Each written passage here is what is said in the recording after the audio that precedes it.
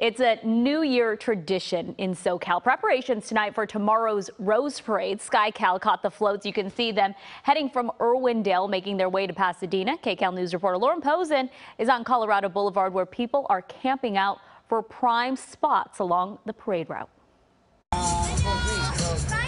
It's the long downtime before showtime, playing a game of cards to pass the time before the Rose Parade.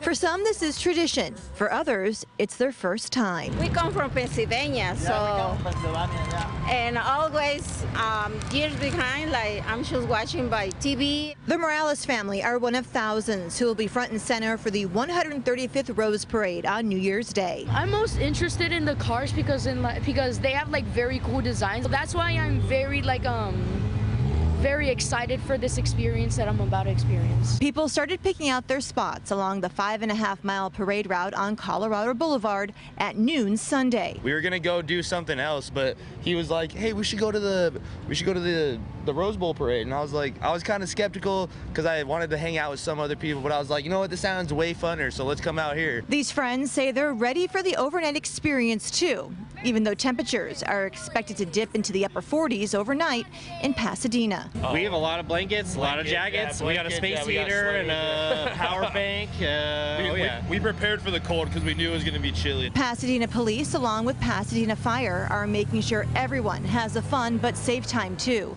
There'll be hundreds of officers out and about, including agents with the FBI and Homeland Security. We're going to be able to see every nook and cranny, um, both using those uniform and ununiformed personnel and the technology. So we'll be looking at everybody all the time.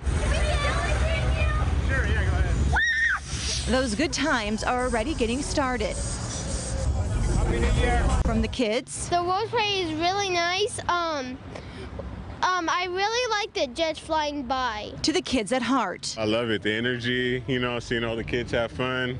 You know, it's just everybody's in the spirit for the new year. Colorado Boulevard will be shut down until 2 o'clock Monday afternoon. That, of course, is for the parade and then the cleanup. And then planning begins for the next year's Rose Parade, which will be 2025. Reporting in Pasadena, Lauren Pozen, KCAL News.